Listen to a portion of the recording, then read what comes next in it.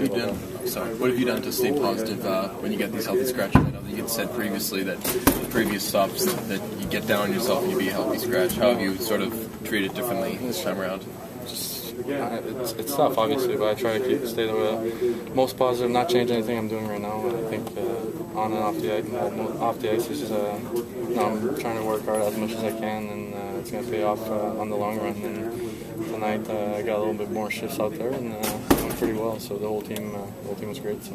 But you just talk about the goal and how that came about, and how you know how it kind of a knuckleball to kind of Yeah, well, uh, that was uh, got a good draw off, and the coach wants us to sit in front of the net, and uh, that's what I tried to do. I didn't really put the screen on there, but it kind of came back right on my blade, and uh, um, try to put it on net as quick as I can, and it was squeaked in there. Uh, like I said, it wasn't the right shot, but we'll never know what happens when you put on net. When you shot it, were you like, oh no, I didn't get enough? Yeah, that one? oh yeah, I was. I was like, oh boy, that's not gonna get there, but it did, and uh, it trickled in on the side, and uh, it felt pretty good. I feel like slow motion watching it go in there. Yeah, yeah, it took a long time. And I was looking at it, I'm like, oh, maybe it's not going to get there. But, um, you know, you never know what happens. You know, you put the puck on net, and, uh, and I paid off the So.